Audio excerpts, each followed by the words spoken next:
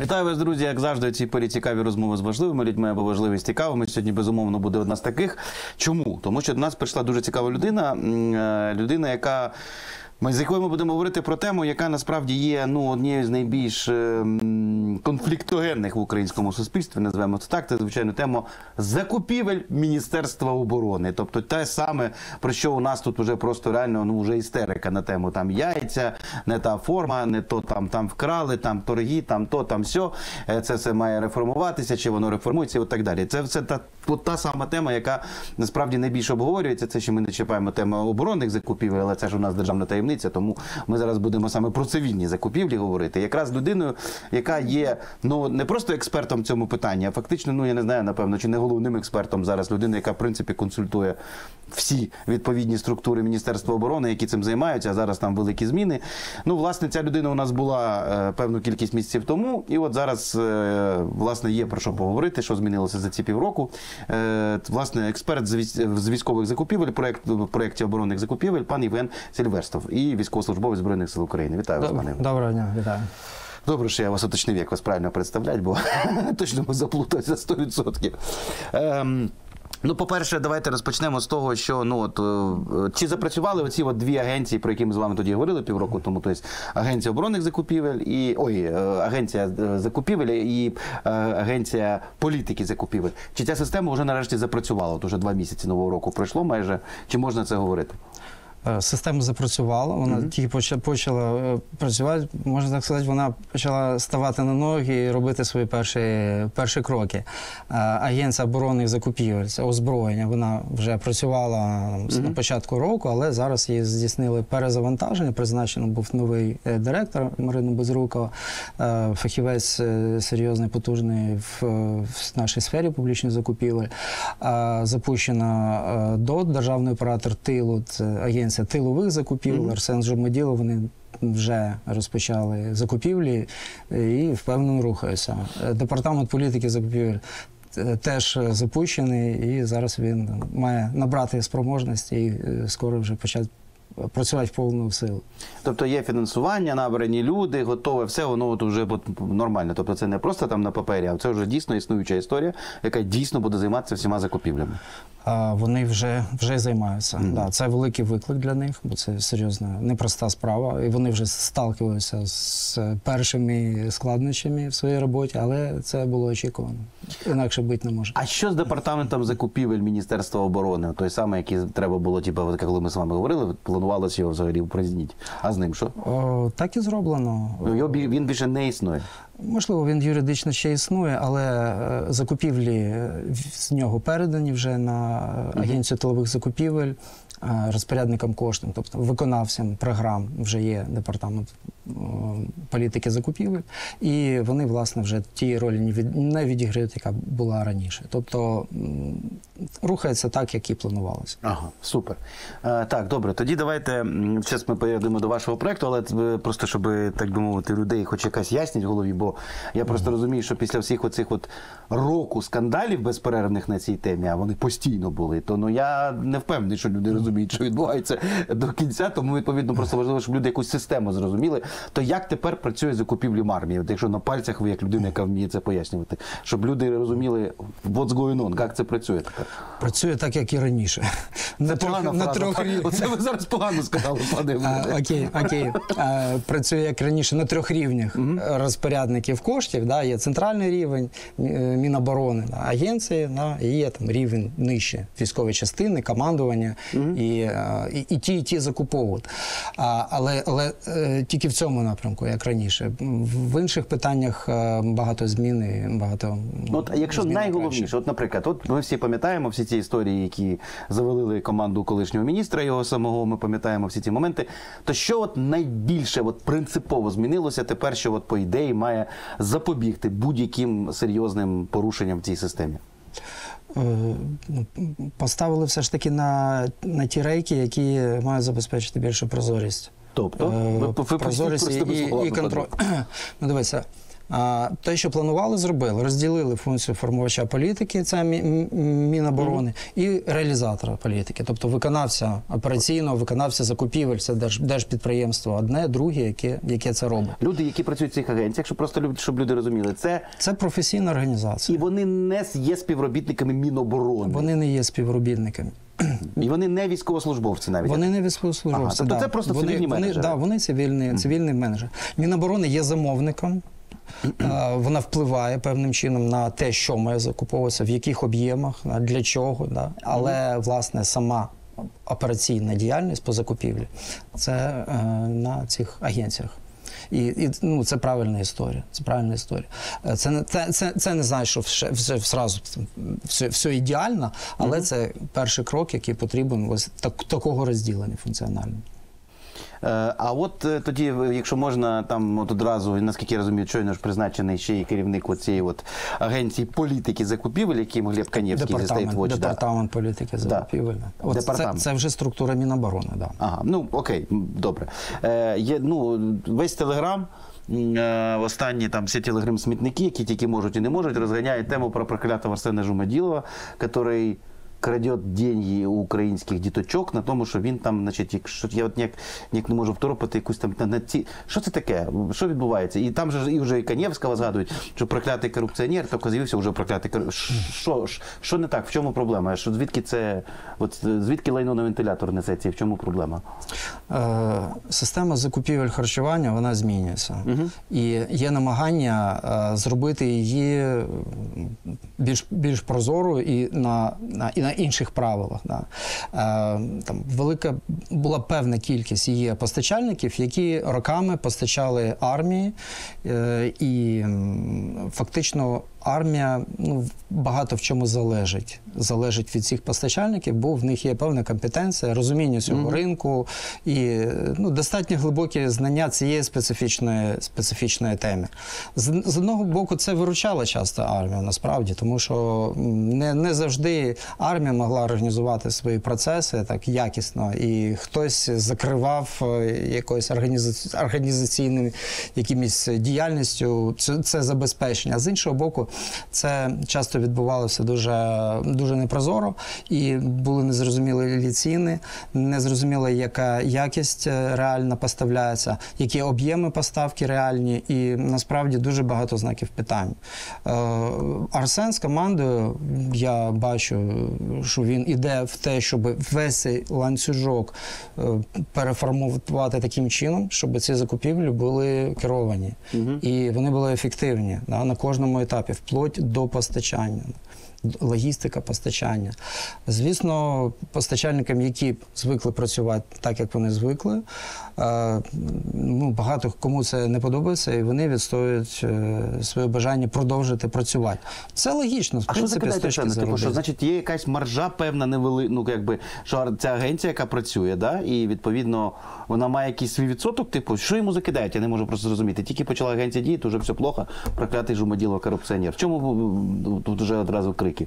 Що у агенції є якась своя маржа маленька, там якийсь відсоток з операції, чи Це, що? е, це нормальна світова практика. Ну, я розумію, коли, коли, такі, коли такі агенції фінансуються в прив'язці до об'ємів роботи, яку вони зробили. Ну, Прозоро в принципі, це ну, да, от, прозоро. В принципі, це, це логічно, коли працівник е, праці, роботу працівника прив'язує до певного об'єму діяльності, який він зробив.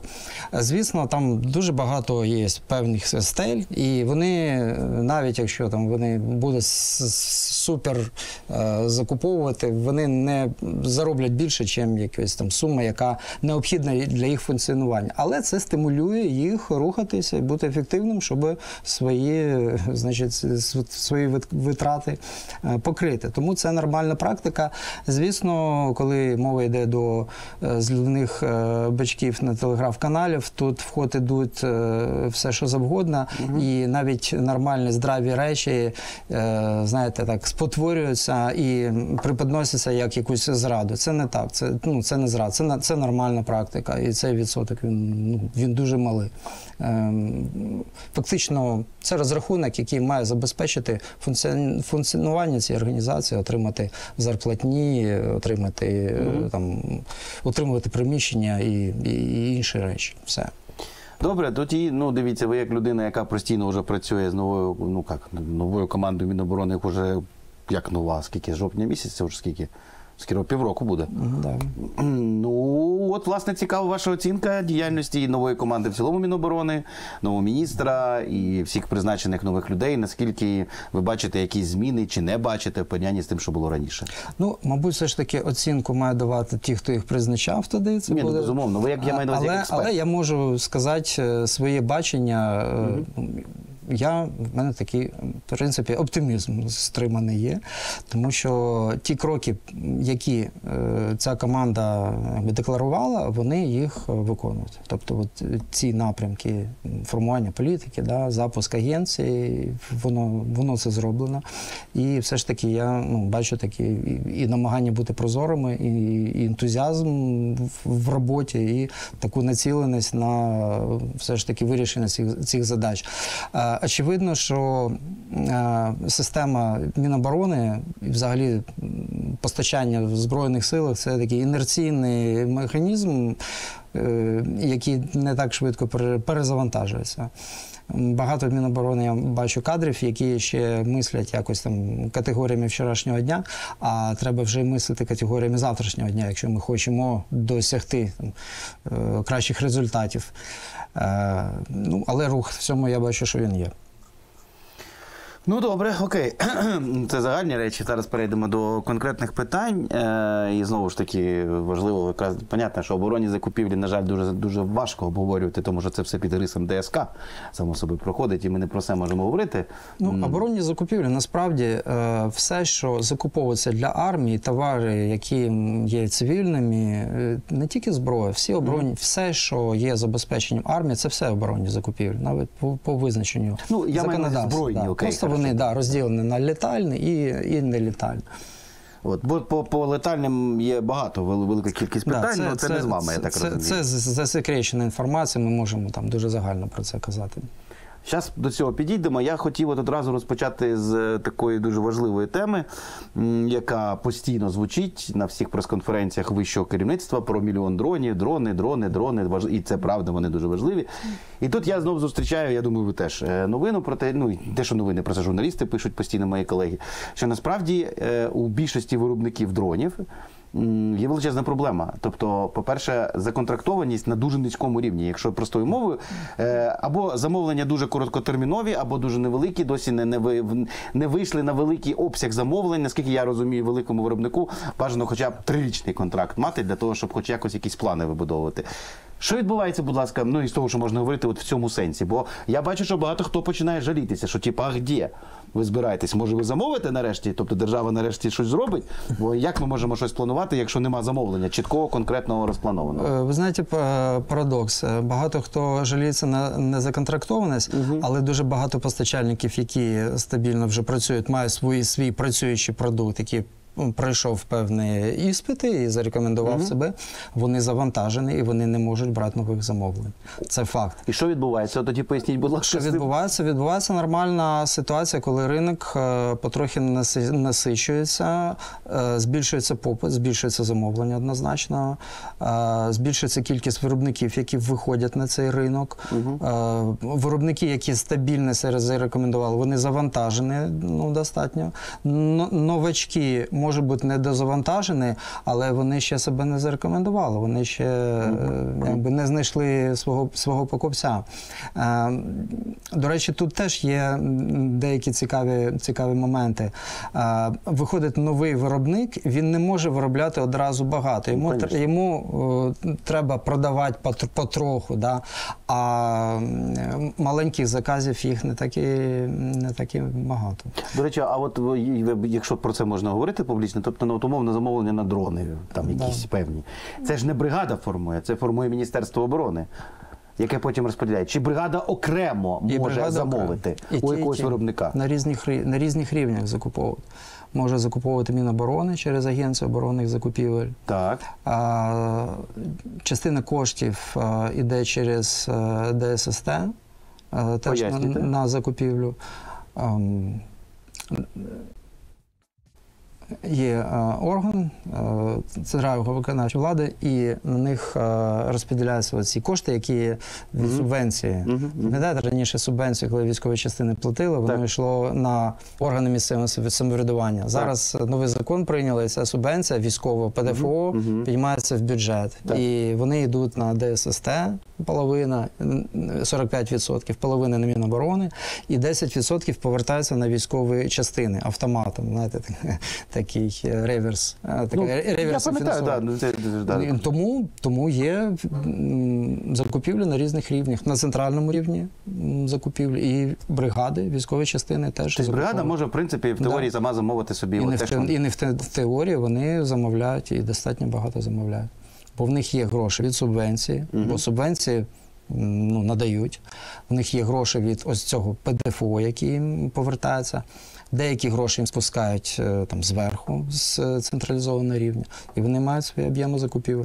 І, до речі, закупівлі військових частин, яких є сотні, які мають е, ну, немалі кошти, сотнями мільйонів гривень вони розпоряджаються мільярдами і іноді. Це серйозний ринок збуту і можливість новому виробнику. Е, Зайти в цей зайти в цей ринок на невеликих об'ємах, продаває напряму військовим Конкретній бригаді, частинам. наприклад. А тут немає якихось корупційних ризиків? Ну там, вибачте, я так сразу. Корупційні ризики, е, коли ми кажемо про закупівлю, завжди є корупційні ризики. Але ми розуміємо, що система є, вона має працювати, і бригади мають е, закуповувати. Я згоден з вами. Просто ти яке ж ліцензування, умовно. Ну тобто я зараз там ну, маю на увазі, дивіться, от окей, стараюсь там, типу, від поганої йти, умовно кажучи, бригада захотіла купити неякісні дрони, на цьому хтось вирішив заробити Ну, грошей. дивися. А дрони ліцензовані чи не ліцензовані, там, ну от це все ви розумієте, да? Така історія. Є, е, є певна процедура допуску до експлуатації е, там, військового засобу. Це Міноборони робить. Це Міноборони робить. е, І правильно, я всім е, постачальникам, звісно, рекомендую пройти, пройти цю процедуру. Є комісія при Міноборони, є департамент військово-технічної політики, при них є там певне управління. Туди можна подати заявку і е, отримати там, іспити, і отримати допуск до експлуатації засобів Збройних І сил. Тільки після цього бригада має право щось замовляти, наприклад. А, насправді по дронах якраз ситуація така, що бригада на, от на своєму рівню не обов'язково може замовляти тільки те, що отримала доз, дозвіл до доступ до експлуатації. Справа в тім, що потреби бригад настільки великі в цих засобах, вони реально Да, великі. да, А система не так працює швидко, щоб допустити таку кількість виробників е, до того, що їх засоби змінюються. Ви, ви провели допуск до експлуатації певної моделі, а це ду- дуже динамічна сфера. Кожні кілька місяців вносяться якісь е, нові там вимоги, да, там якісь новшества в цих, е, в цих дронів, і, е, і реально швидкість важливіша. Тому було я бачу, що Міноборони було прийнято рішення все ж таки, от під час військового стану Хочете, замовляєте. замовляти під вашу відповідальність. Але ну це логічно. Ну чому дивися, закупівельник бригади, командир, які підтверджують це замовлення, підписує договір. Ну це їх треба для їх бойової роботи. Ну, це, це їх задача, людей, да. це життя людей, це виконання їх задач, це життя і спасіння їх людей. Тому ну очевидно, що це ну, правильно, правильно все ж таки рішення. Я просто, вибачте, я ж от користуючись можливістю, що нарешті прийшла фахова людина, я зараз дам всі тупі питання, які в мене є на цю тему. Да, да, на, Попереджаю. на центральному рівні, от за кошти да, бюджету, да, ті, що агенції закуповують, е, да, там е, засіб має бути допущений до експлуатації. Бо там уже масштаби, я так розумію, Да, там, набагато. там інші масштаби і там все ж таки інші такі умови. Зрозумів. Е, так, е, ще що хотів спитати, ну от дивіться, я там бачив знову ж таки там бурлят пристрасті на, на навколо от же ж пішли торги. Опять там якийсь суд що то відмінив. Е, кружний адміністративний, там вже здається, якийсь там, тим менше торги продовжуються. Тим менше, я так розумію, що всі там дуже хотіли, щоб вийшли великі наші рітейлери на ринок. Вони так і не вийшли з пропозицій. Що відбувається от з цим? Давайте теж на пальцях для ідіота. Поясніть, будь ласка.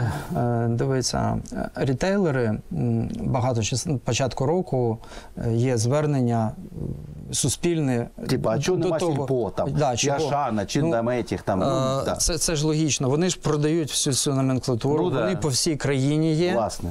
І, е, і, і, і коли пор- порівнювали ці ціни да, на яйця або на ще щось, краще. ну порівнювали ж з мережами і казали, ну навіть мережі дешевші, то чому, чому мережі не, не, не постачають? І це нібито логічно. Але з іншого боку, це зовсім інший все ж таки вид е, бізнесу з точки зору і логістиці, логістики, і, і організації, е, організації роботи. Тот ем, постачальник армії, який підписує контракт, в нього дуже багато невідомих. І так система, ну, на жаль, е, існує, і ми не можемо від цього кудись дітися, щоб дати їм повну інформацію, які точки поставки. Тобто, куди їхати, де склад, щоб туди де ракета не полетіла. Да, абсолютно Ну, не, ну, не Гуртовий просто- склад робити не можна, бо прилетить ракета. Знов таки, Да. дати якісь кількості замовлень по дуже точним регіонам. Значить, ти знаєш, скільки да, там- пок- пок- показати це все. Е, система закупівлі харчування, вона ж теж е, досить цікава. Є каталог з 409 продуктів харчування. І е, Закуповується насправді ж не, окремо м'ясо, яйця, чи морква, чи картопля. Закуповується добова норма харчування. Тобто торги йдуть за ціну харчування однієї людини. І е, це каталог це певна абстракція. Умовно кажучи, от якщо б ми захотіли вас протягом дня нагодувати потрібною кількістю калорій, і ми б годували вас всіма 409 е, цими Продуктами. просто в маленьких кількостях. Так програма розрахована, от так вирахований калораж. Але замовлення будуть вже відповідно тої потреби, які в військовій частині є, згідно їх меню, згідно їх там раціону і. Постачальник надає свою пропозицію на орієнтовний об'єм, на орієнтовну номенклатуру і на орієнтовні місця розподілу. Дуже багато невідомих. А рітейл так не звик працювати. Рітейл звик працювати, що є конкретні точки 20 доставки, хліба, туди, є там, конкретно такий-то визначена час. номенклатура, є кількість, і тут зовсім інша історія. Для того, щоб працювати в цьому ринку, треба мати дуже глибоку експертизу саме цієї специфіки знати. Ну, розумієте, що це означає, що ми консервуємо тих самих плохих старих виробників, які там судяться, хочуть цю систему максимально непрозоро лишити, але ж вони реально, як ви правильно на початку сказали, шарять цю систему. Вони шарять, розуміють, да. як не працювати. Да, і що це- і як, і як це не поламати, щоб це працювало і при цьому не крали. Е, є, е, є кілька речей, які потрібно зробити. Я думаю, що вони будуть зроблені. По-перше, коли рітейли, рітейл став задумуватися, а чи йому йти сюди, да. вони ж захотіли би подивитися. Ну, якщо у вас немає інформація прогнозна, то хоча б а що було, да? які минулі були е, Ну, щоб- відвантаження, ну, да, да, да, кількість, асортимент, таке інше. Саме цікаве, що цієї інформації фактично немає. Нем- Ну, вона ж теж закрита. її, вона не то, що закрита, її не збирали. зали І її навіть навіть закрито її немає. Тобто, оця вся система, коли всі військові частини пересилали на Міноборони, на цей департамент ДРЗ платіжки, акти, Ну, да, да. вони в- е, обробляли цю е, громадну кількість е, Папірців. папер- папірців, е, м, відправляли на, на проплати казначейство. Це все не електронізована історія. Всі ці папірці, щось вони десь не доїжджали. Може, В них, були, електронну? в них були помилки, і воно все не узагальнювалося. Узагальнених даних нема. І тому у нас, коли у вас нема даних по попереднім періодам, ви не можете якось спрогнозувати, що, що буде далі. Тому важливо е, збирати дані. Оці електронна, воно обов'язково має бути.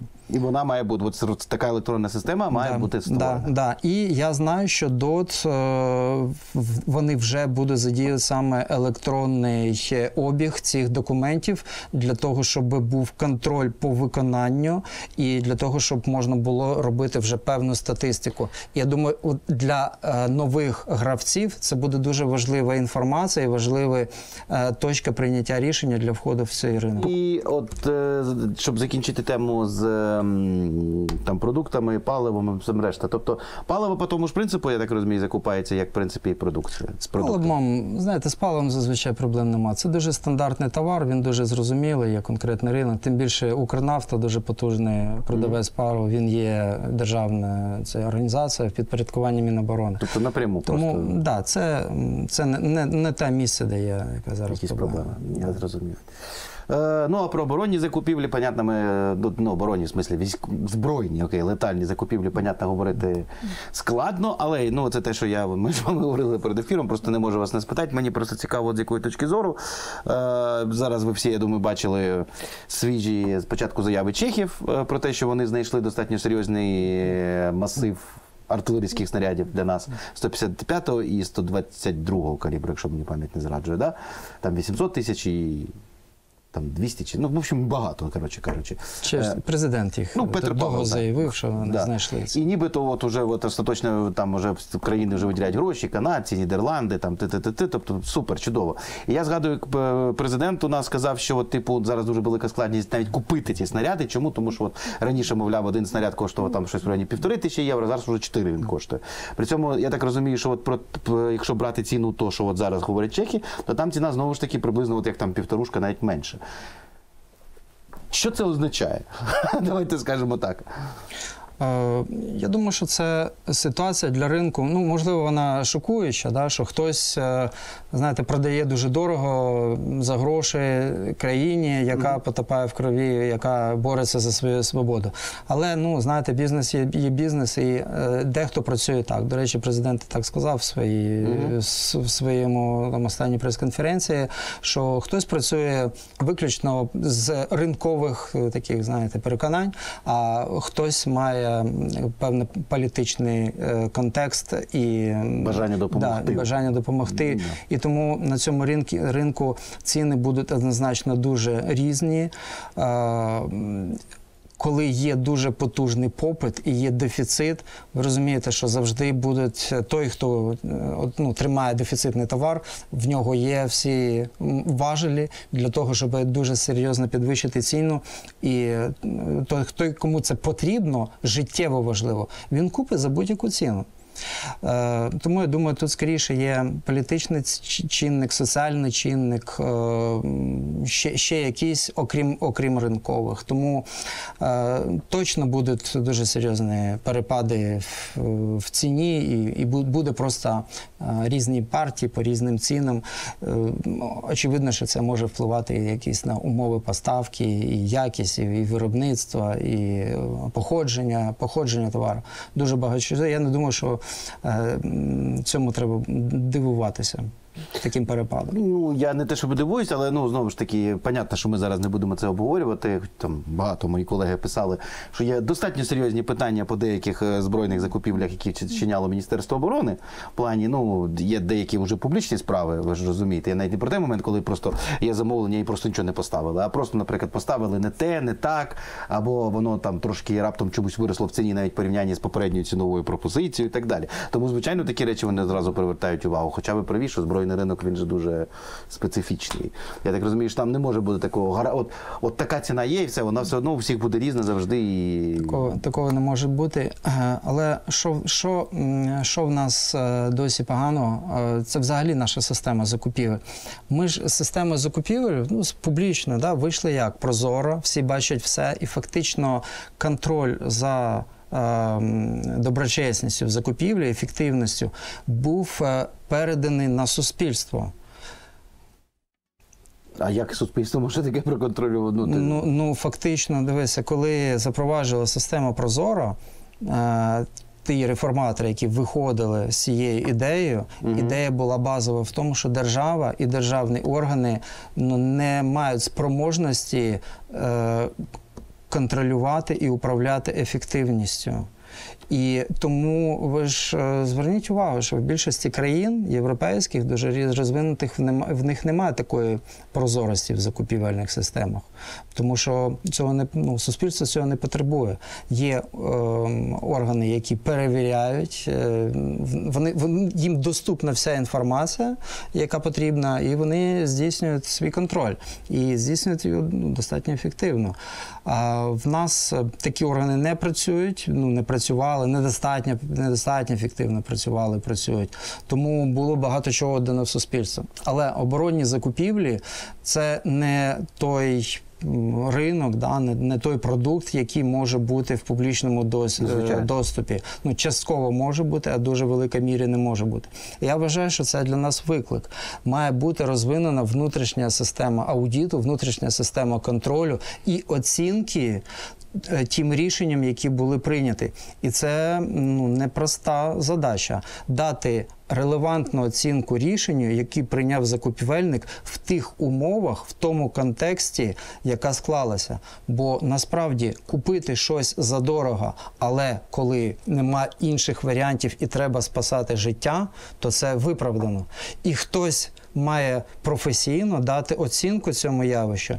На жаль, в нас такого інституту ну він дуже слабкий. Людей, які професійно можуть здійснити аудит і дати оцінку прийняттю рішення. З приводу аудиту, от дякую, що ви нагадали. Це ж теж одна з найбільш скандальних історій, яка була пов'язана нашою державною аудитслужбою. Ви я думаю, прекрасно розумієте, про що я кажу. Спочатку історія про те, що нібито там не можуть збройні компанії отримувати норму прибутку. Е, ну це нарешті, от буквально кілька днів тому, нарешті впорядкували цю історію, яка півроку е, тривала. Але менше з тим, є ж інша історія. Наскільки я пам'ятаю, про це публічно говорила там і Дана Ярова, і багато інших людей, що є е, кримінальне провадження е, щодо пані Басалаєвої, яка є керівник державної аудитної служби, з приводу чого? Що нібито в процесі проведення аудиту збройних компаній е, була. Ну, нібито витік інформації якоїсь про власне місця цих оборонних там підприємств і так далі.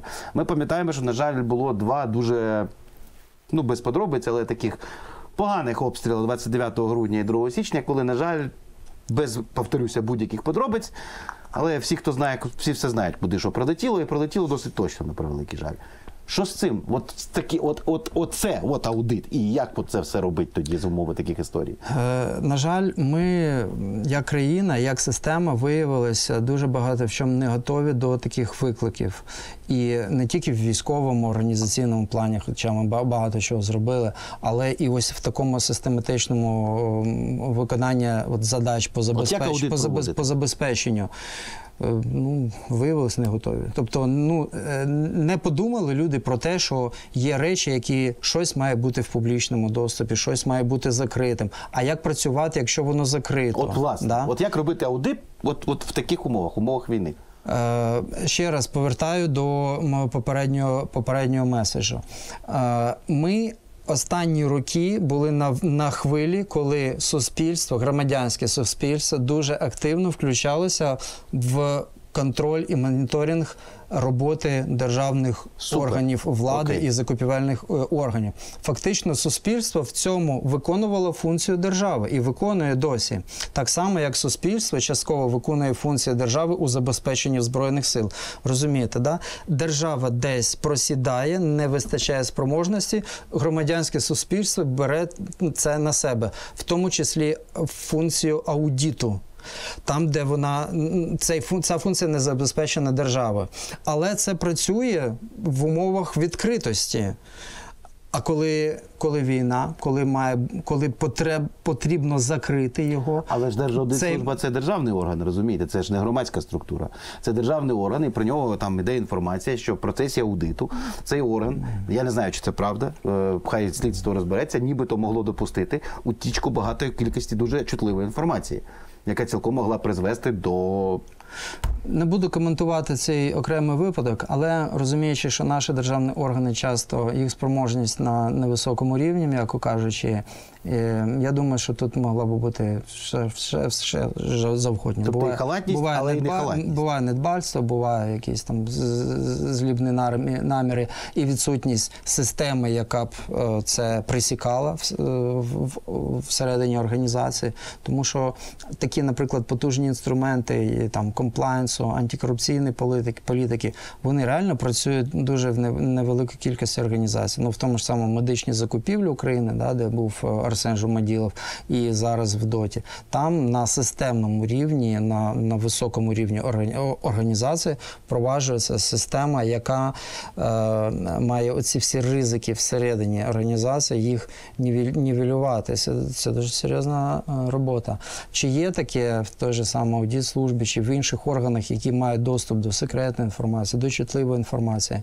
Ми не знаємо. Можливо, там не все так добре. Я просто чому вас оце доколупуюсь в цьому сенсі? Просто розумієте, ну от знову ж таки, з одного боку, от нас виходить е, навіть там без прізвищ і так далі, величезний конфлікт. Тобто, з одного боку, суспільство, особливо після цих всіх чудових історій про яйці, яйці по 17, тепер на Міністерство оборони дивиться завжди ну не, не те, що з недовірою, а просто з певністю, що там крадуть 100% без будь-яких варіантів. Треба контролювати. З іншого боку, ми розуміємо, що якщо ти починаєш надто сильно контролювати, то потім прилітає російська ракета. І де тут знайти баланс?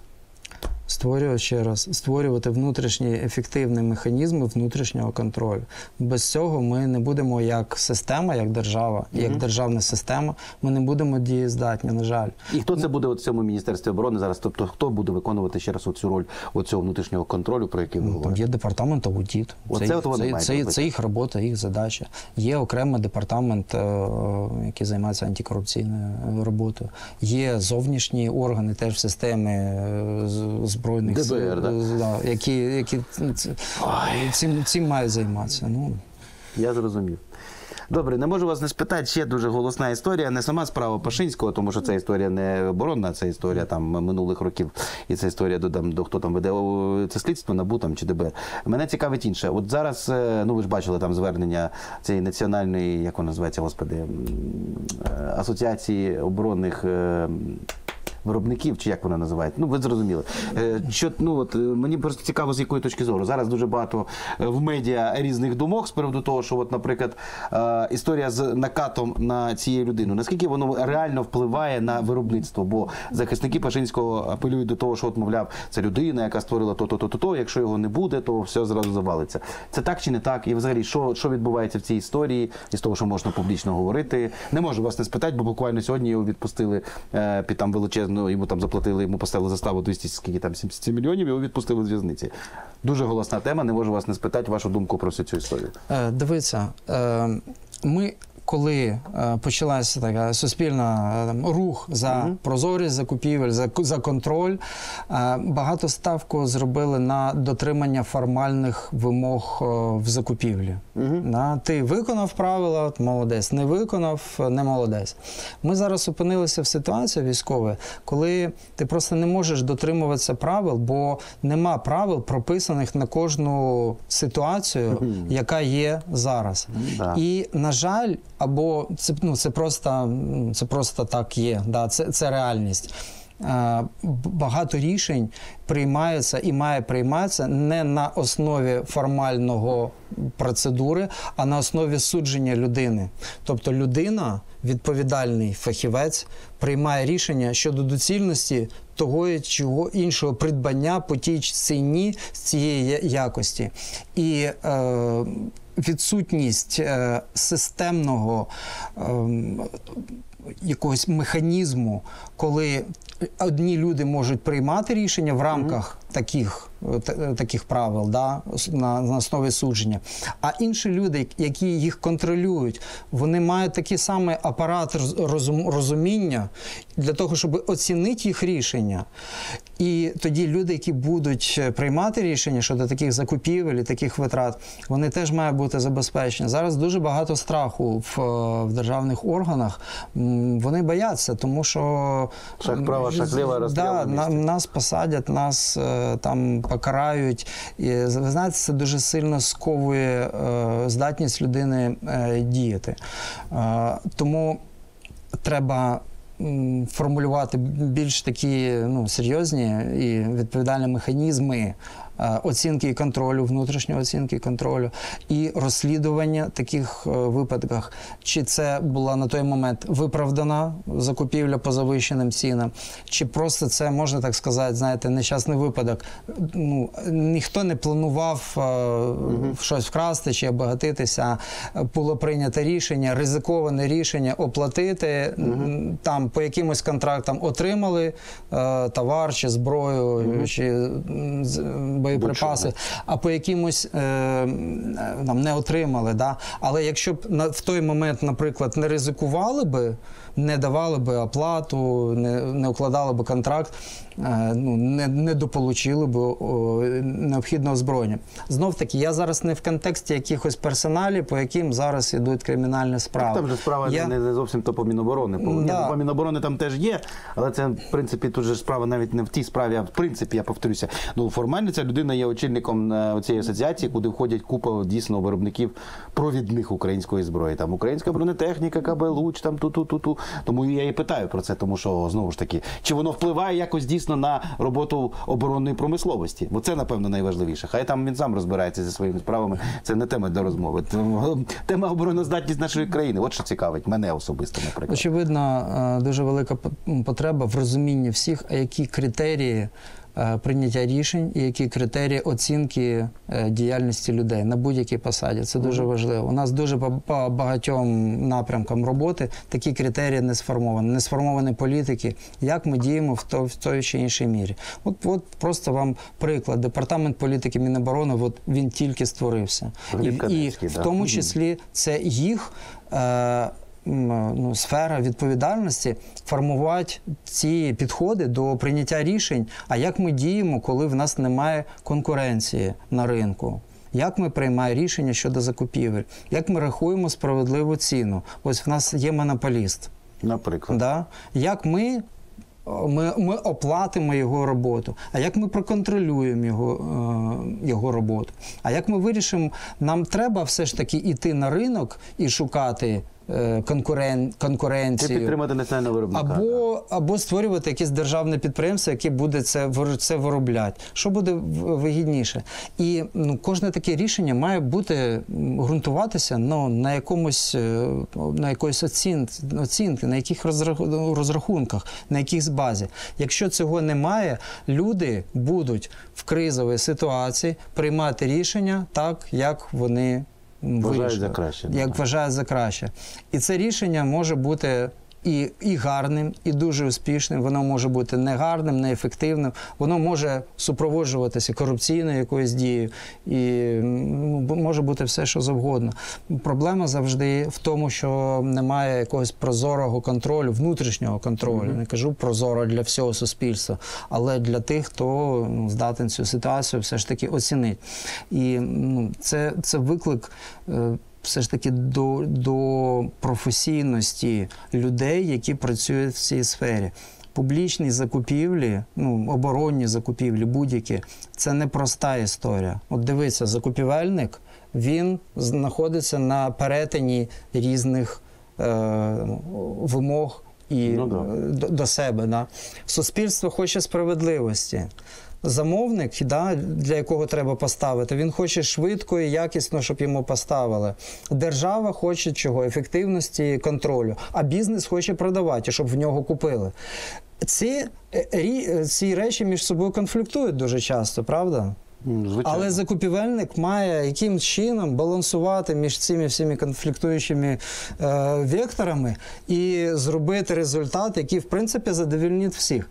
Це не тривіальна задача. І рівень професійності має бути високий. І рівень оцінки його рівня, тобто людей, які оцінюють його, теж має бути високий. Хто ці закупівельники? Я так розумію, що зараз е, ну, тобто цієї посади формально ще нема, чи вона вже є?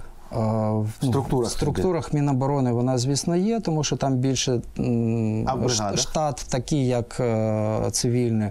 А в бригадах і Збройних сил досі ще нема посади закупівельника. Е, Ми Хто вийшли- це має бути? Це має бути військовослужбовець, якийсь офіцер чи цивільна людина прикомандирована, чи ну, от як це має Е, працювати? Ми бачимо, і от на що, на що ми з якими пропозиціями ми виходимо, щоб це була можливість створити навіть службу закупівельну, тому що є бригади, які на сотні мільйонів мільйонів закуповувати. Це точно не одна людина, це має бути відділ, да? має бути керівник. Тому це щось, щось е, подібне, да? от як є помічник командира е, частини там, юридичної роботи чи з фінансової роботи, і хтось має бути безпосередньо підпорядкований командиру із закупівлі, тому що він е, фактично приймає рішення щодо укладання договорів, і командир про це під, підписує. Якщо є потреба, можливо, це буде одна людина, офіцер, або і Тобто військовослужбовець, і- не військовос- цивільний. Е, Це може бути і цивільний військовослужбовець. Ми бачимо зараз так, що керівником може бути е, офіцер. е, В підпорядкуванні в нього може бути як цивільні працівники, так і військові. Якщо немає, наприклад, посада вакантна е, офіцера, керівника, то, наприклад, цивільний може виконувати його обов'язки. Ну, поки що так.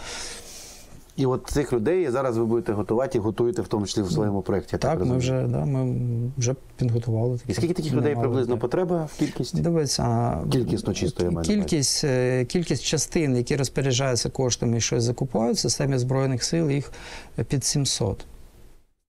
700? Да. Да. Да. Ні, то це ж скільки ж у нас. Е... Ладно, ну це, це ж сподіваюсь, ми тут супердержавну таємницю не розповідаємо. Не, не, не розповідаємо, це, це, це відкрита інформація. А, І в кожний треба закупівельник. Дивися, є, є бригади, є окремі батальйони, спеціальні батальйони, є батальйони тактичні групи, є там певні формування військові, да, які виконують свою, можливо, не бойову роботу, а роботу із забезпечення, там склади, навчальні центри, якісь там центри І комплектації. всім треба закупівельник. Ну, якщо вони отримують е, кілька сотень мільйонів е, гривень всі е, в день, в місяць, в господі, в день, в, в рік, є такі, що і по мільярду отримують. То очевидно, що на такий об'єм закупівель треба і кілька людей. Очевидно, що не всім. В цій концепції немає безалвки. Якщо військова частина ну, не отримає коштів, не витрачає їх, вона може командир може прийняти рішення не просто не заповнювати цю. Цю Вакансію. да. Головне, щоб вона була передбачена в штаті, бо якщо вона не передбачена, а вона потрібна, її не можна просто включити в штат в окрему військовій частині. Вона має бути в штаті, а в частині, якщо потрібно, там буде людина. Якщо не- потрібно, ну не буде. Тобто заплановано, я так розумію, що буде якийсь указ, да, я так міністра оборони, який буде створювати власне цю штатку, штатну посаду. Ми, ми до цього йдемо. Як думаєте, наскільки швидко ви до цього прийдете? Сподіваємося, там за пару місяців. Тобто тут все залежить, грубо кажучи, від кількості вже підготовлених людей, яких ви зараз готуєте. А, має бути вирішено там нормативно, да, прийняти рішення, там наказ, ведення посади, штати, якась певна робота. І а, другий блок це власне підготовка. Тобто, в нас є такий проект 100 називається. Ми маємо першим ешелоном навчити 100 бригад, от, Ага. які найбільш активно закуповують, в яких най- найбільше обсяги закупівель. У нас ми там певні пілотики зробили ще в, в тому році. Ми навчили там 5 бригад проводили закупівлю. І як в них результат? є, да, в них є, є результати, їх кількість е, закупівель зросла в рази. По, по деяким бригадам це десятки разів. Які не можна говорити? Ну, я не буду всі, Окей. називати. Ну, ну, я скажу так, що нормальна для військової частини зараз, якщо в них там в рік там 10-20 мільйонів, то це, це небагато. Вже нормально, що військова частина оперує бюджетом від 100 мільйонів е, гривень в рік. Чого І собі. кількість договорів 100, 200, 300 Так договорів. це ж це, це прям рівень дуже серйозної компанії вже. Звісно, ну а дивиться, бригада там, і це ж ну, ну, на секрет, це там 5, 6, 7 тисяч людей. І причому в них є е, дуже серйозне господарство. Це і техніка, і там, Що розташування різне, і все. Тобто, ну, уявіть собі е, організацію, підприємство 5 тисяч людей. Це Ну, ж- це дуже ну, велике. Ну, уявіть собі, ну, і, і ці люди активно використовують е, Постійно різні, майно різні, різні засоби. Вони не просто сидять по офісам і їм тільки треба канцелярію якусь там докуповувати. Вони серйозно фігачать. І е, номенклатура дуже, дуже різноманітна. Сотні, сотні елементів номенклатури. Номенклатури. І, до речі, оця можливість е, закуповувати е, на децентралізованому рівні це дуже велика ну, підмога. Тому що децент, е, централізована закупівельна, вони навіть і забезпечують по, в повному обсягі, але потреби по певним номенклатурним групам. А номенклатура потрібна, вона набагато ширша. І центр, навіть якщо їм дати зараз, от завалити їм грошами, вони просто не встигнуть відпрацювати і стільки закупівель по, по великій номенклатурі. Тому я це дуже гарно. Тобто ремонти машин нарешті е, бригади тепер зможуть брати на себе, да? Е, Я так як волонтер е, про Ви знаєте, це, це для нас дуже, дуже серйозний виклик. Я знаю, Простіше попросити у волонтера, чим організувати закупівлю своєї військової частини. Я так мрію, повірте, от всі, хто займається автомобілями, мріють про цей момент, коли не треба буде цим займатися. Ладно, купити нове авто, але його обслуговувати. Ну невже нарешті Міністерство оборони не може якось прорахувати систему, щоб бригади просто могли самі оплатити гроші зампотєху, щоб він пішов і відремонтував цей долбаний джип. А не ми знову цим займалися, чорт знає, ще йде. І ще треба потім його гнати, бо всі е, СТОшки е, на 200 кілометрів від лінії фронту забиті замовленнями на 5 місяців наперед. Ви ж це розумієте прекрасно. Да, я, я, я все бачив з абсолютно різних сторін. І як сам користувач, такі. Це як можна і, щось і, і, як, і як збирач доната, і як сам військовий, який Що цим, з цим зробити, щоб нарешті це вирішено було? От скажіть, будь ласка. А, от робить скучні речі, розумієте? Ось такі скучні речі робить як професіоналізація, як впроваджувати системи, процеси, які мають працювати. Це, це не героїзм, це не брати, це, це не робить як, якийсь подвиг, коли ти вийшов на екран, сказав, я всіх там шашкою махнув і всіх зробив там супер якусь там реформу. Це, це в кожній військовій частині, в кожній організації, в кожному там департаменті є люди, які професійно знають свою роботу, є процес, послідовність дій. дій, е. Є начальники служб бригаді, які мають. Ми, ми з вами говорили про це Да, в, пам'ятаю. в, в минулий раз, які мають знати потребу. Має потреба якось підійматися знизу вверх. Зараз ця система досі не працює. Ми це впроваджуємо. Да? Як це зробити? Форму, сформувати потребу, щоб люди знизу, з рот, з, е, з, з водів, да, своїх відділів могли достукатися на бригаду і донести свою потребу там, де є кошти, там, де є можливість е, укласти договір і забезпечити свою потребу. Да, в деяких місцях це все це відбувається, але це все ж таки поодиноко. Так, система так не працює, але ми маємо це зробити. Це наша задача. І ми, от як Ну, проект, удачі вам я, цьому. Я чесно, я, я от правда, вам, якщо ви вам дасться зробити, вам реально маленький пам'ятник зроблять всі волонтери. Що нарешті от, з машинами це питання нам не мені вам пояснювати. Тому якщо це дійсно можна вирішити, це було б дуже круто. Дякую вам дуже за розмову. Пан Євген Сільверстов був експерт е, з військових закупівель, проєкту оборонних закупівель. Дякую дуже вам за розмову. Ну і успіху Дякую. в цьому. Я не знаю, це не реформування цього мастодонта жахливого. Я вже не знаю, як його по-іншому назвати, бо, звісно, іноді, коли дивишся на ці журнали, журнал. Дякую за розмову. До зустрічі. до зустрічі.